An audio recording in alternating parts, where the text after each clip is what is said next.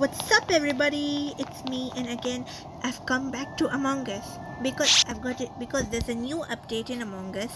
You know the task like cafeteria we are in.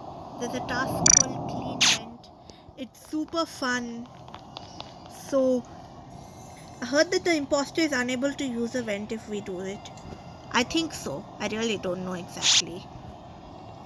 So I open the vent there's a pizza I take the pizza and there's a ball I take the ball. Can I get it could I get rid of the spider webs? Or no. I guess we can't do that. But I would get rid of this hairpin over here.